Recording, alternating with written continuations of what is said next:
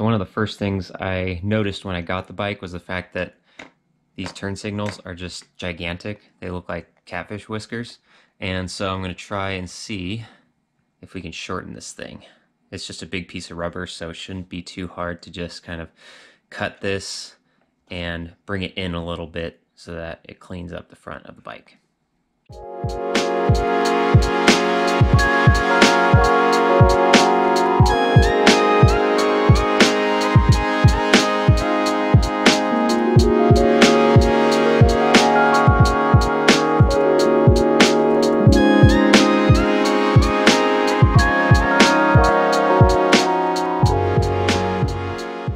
Okay, so I misspoke. It turns out it was too hard. So I have them taken off the bike here, and this is the one that I completely mangled. And I cut it here, and my intent was to get rid of this section and then slide this up onto the connecting bolt here that goes to the headlight. However, this long piece is supported by a pretty heavy duty metal sleeve. Not only that, but the rubber that's on this, and you can kind of see that I've tried to hack this thing and it's it's permanently glued to this and I could probably scrape all of this off if I really really wanted to but quite frankly it's a waste of time parts like these go super cheap and so what I did was I hit the internet hard and found one that was 12 bucks. And through the magic of editing here we have our brand new turn signals. I have no idea which ones these are. They're just cheap no names. All that I know is that the lights are LED and the connections and the bolt all match the stock that we have here. So we got a small size comparison there. So you can tell that this is going to be a lot closer to the headlight, so it'll clean up the front of the bike, not make it look so much like a catfish. Side note, before I put the new blinkers on, this is what it looks like with them off, no blinkers at all. And I think this looks strikingly like that grasshopper in Bug's Life. Forget his name. I think it's Thumper. And if it is, I think this might be a good name for the bike because it is a thumper.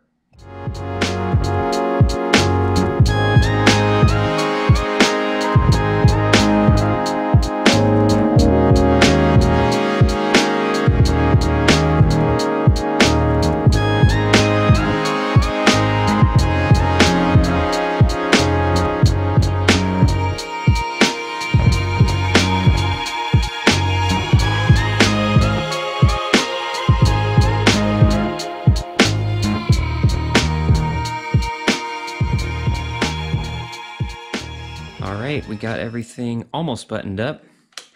We got blinkers working on both sides and hazards. Everything's good there, no issues.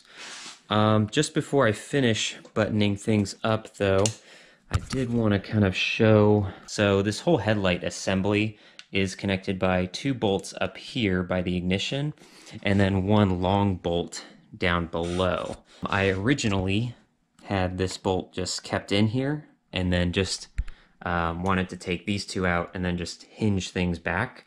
But um, putting things back together is a whole nother story.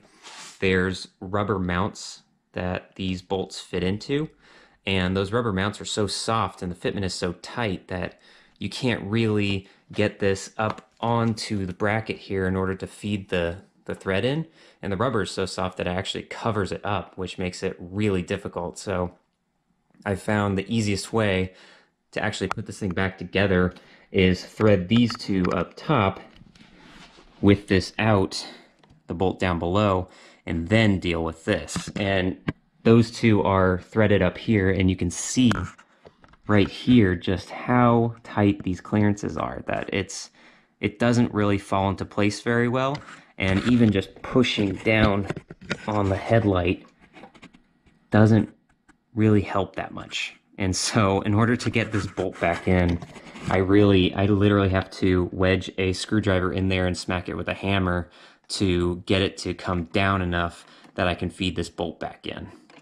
Now it's finally time to tackle the levers. These are the stock ones, obviously, and they are quite loose. So what I got is this to replace it.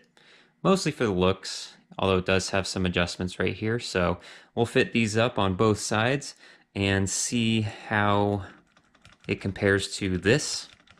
And if there's still some play in there, we'll make some adjustments.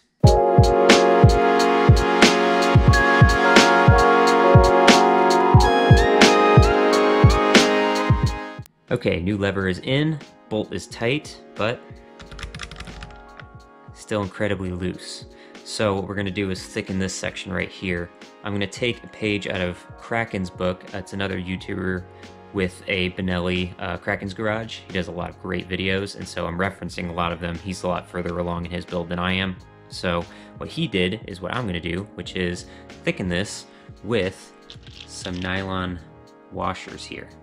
Um, so I'm gonna sand one down. The thickness here is just a little bit too much, but I'm gonna sand it down just to, to thin it out a little bit, just enough that I can wedge it in here and get rid of this up and down play.